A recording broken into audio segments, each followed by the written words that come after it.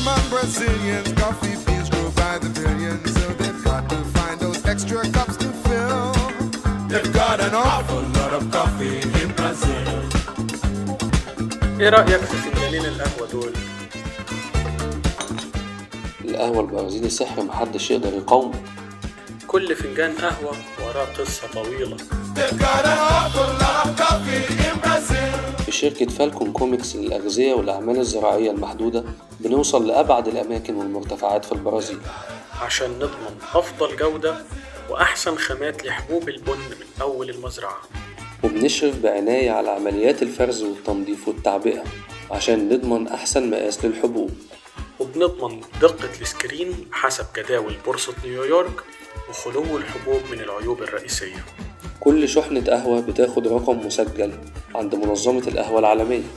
لأن شركة Falcon Comex هي شركة برازيلية مسجلة كعضو في مجلس مصدرين القهوة البرازيلية. وعضو مسجل في منظمة القهوة العالمية تحت رقم 2034 مواعيد الشحن والتسليم وكل logistics خطوط حمراء في شركتنا ومكافحة الآفات والرقابة الصحية على المنتج من أهم أولوياتنا.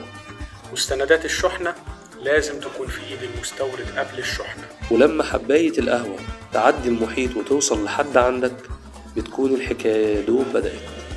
شفت بقى كل فنجان قهوة وراه قصة طويلة إزاي؟